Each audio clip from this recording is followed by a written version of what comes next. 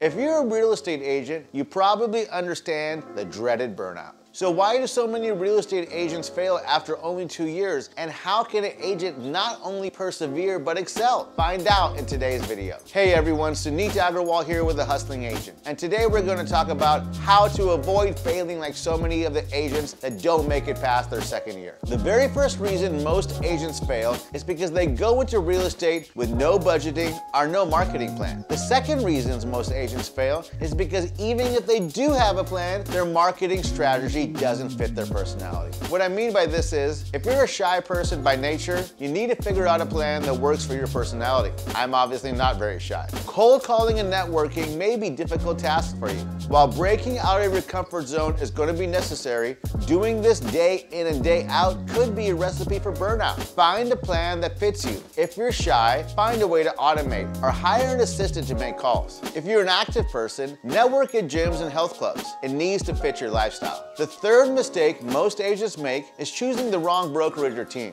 A great team and brokerage can be priceless assets and a source of not only motivation, but also knowledge. Joining the wrong team can leave you feeling alone or worse, focusing only on making quotas. The fourth reason agents fail before their second year is poor time management. If you're constantly overbooking yourself or forgetting to call clients, you need to time block and schedule your life.